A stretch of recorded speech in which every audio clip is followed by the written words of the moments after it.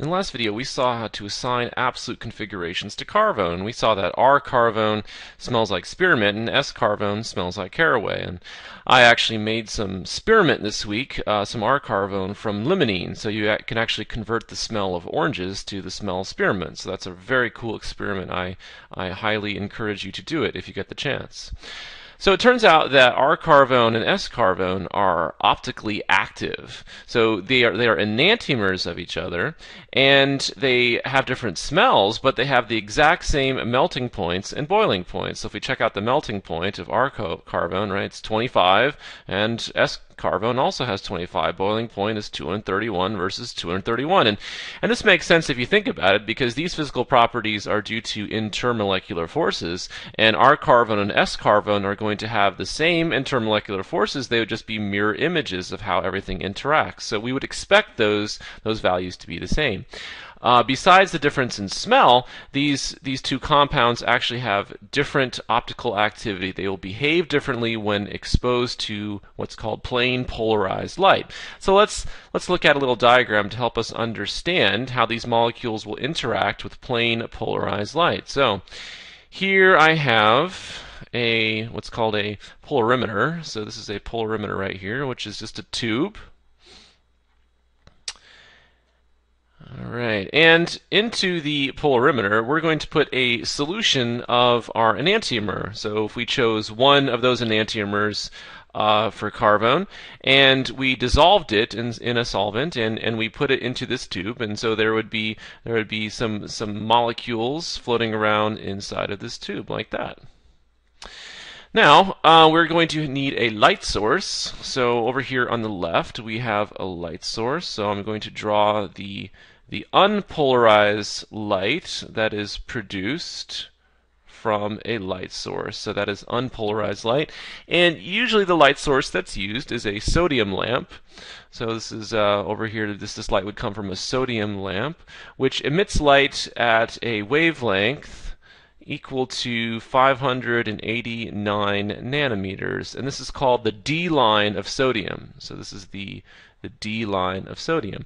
When this unpolarized light hits a polarizing filter, so this is a polarizing filter right here, and a polarizing filter will have will have lines that only allow certain kinds of light to go through. So if this unpolarized light travels towards the polarizing filter, only only the vertical, only this vertical plane of light can get through the polarizing filter. So out of all these unpolarized, only this one's going to get through. So let me go ahead and label this as my as my polarizing filter.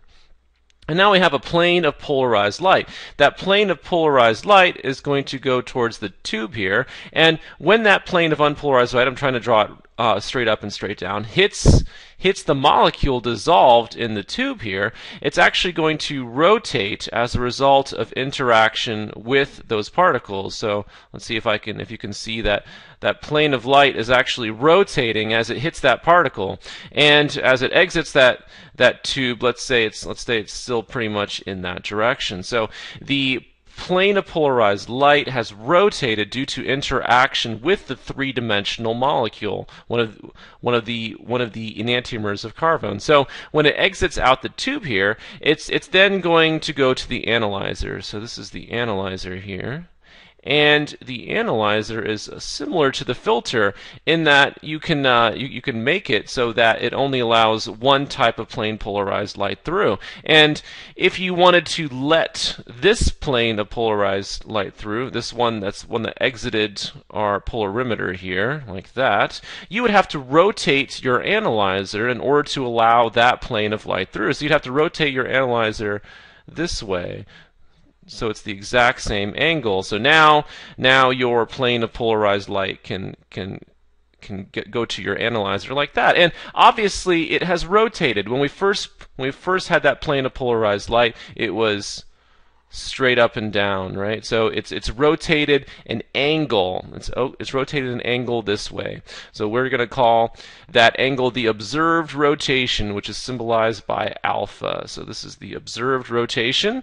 Let's uh, let's go ahead and redraw that picture so we can see a little bit better. We started off with a plane of polarized light straight up and straight down, and after that plane of polarized light hit our chiral compound, it rotated to the right, and obviously that makes an angle between between between my two planes there. So here's an angle, which we call alpha, which is our observed rotation. So alpha is called the observed rotation.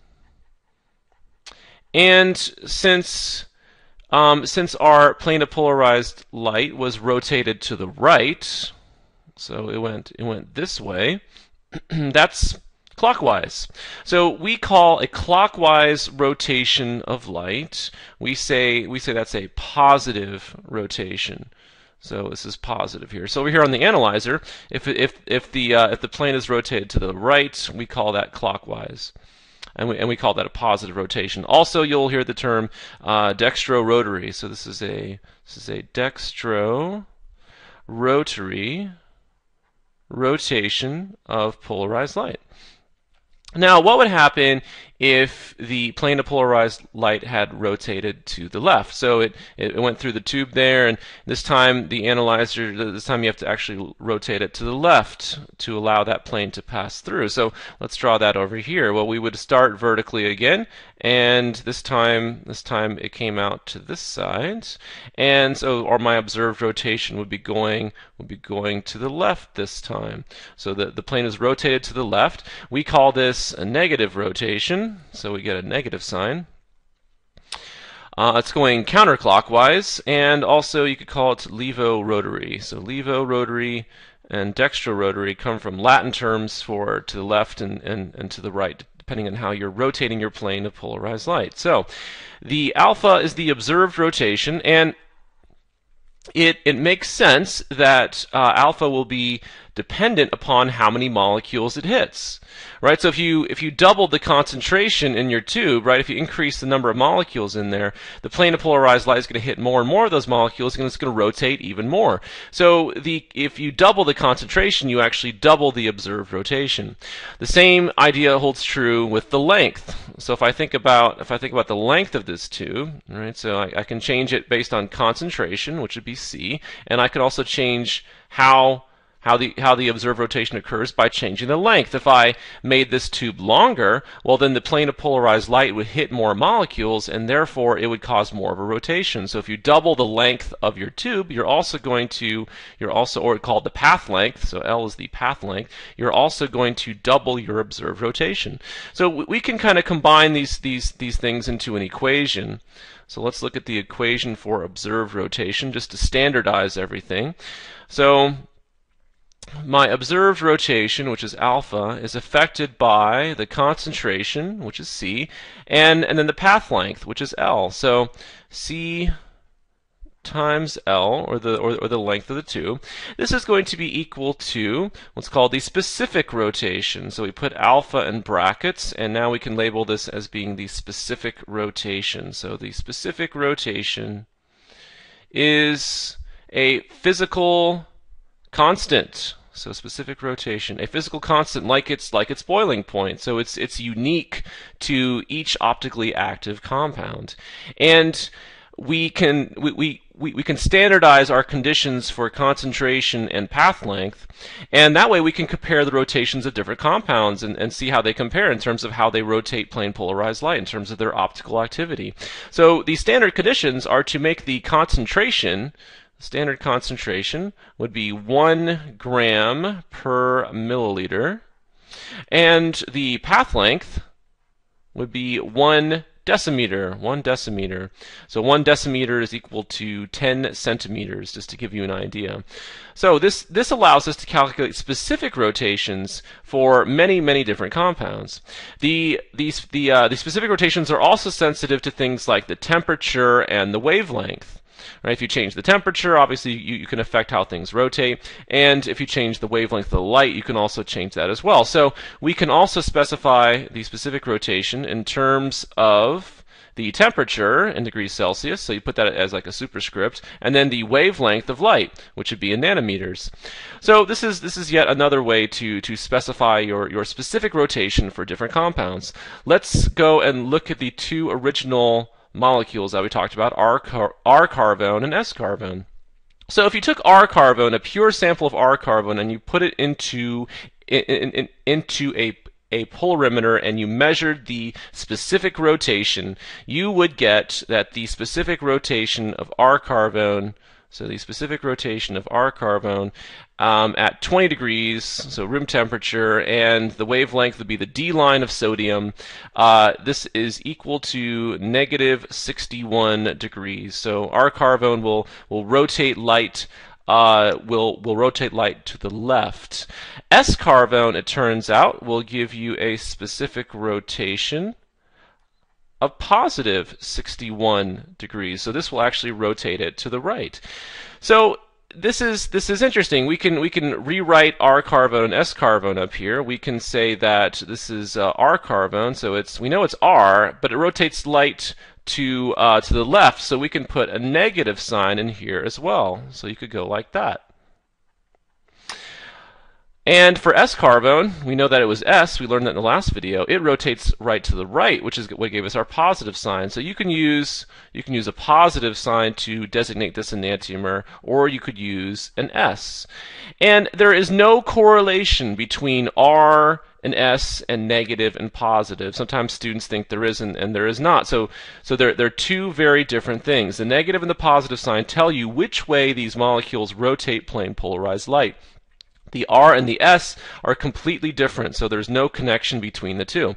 The first person to discover this concept that enantiomers will give you specific rotations equal in magnitude but opposite in sign of rotation, the person who did this was Louis Pasteur, so obviously a very famous scientist. And he made several contributions to the field of stereochemistry, and he, he crystallized some tartrate salts, and he noticed that the crystals were, were mirror images of each other. So he sat there and he picked them out with tweezers tweezers, and then he dissolved them in water and found their specific rotations. And he found when he used pure solutions of the enantiomers, he got one optical rotation. The other enantiomer gave him the exact opposite uh, in, in sign, but equal in magnitude. So he was the first one to discover this.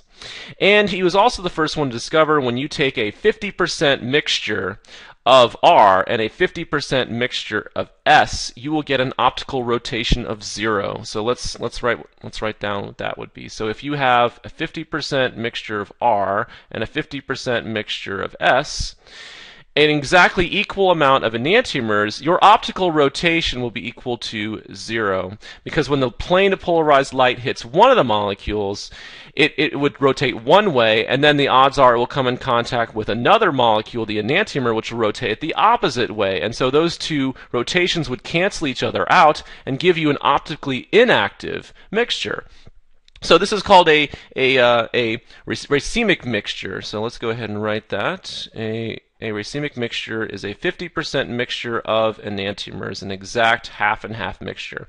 And you'll see there are a lot of chemical reactions that we'll study in the future that will produce a a racemic mixture. So in the next video, we'll look at a few more calculations involving optically active compounds.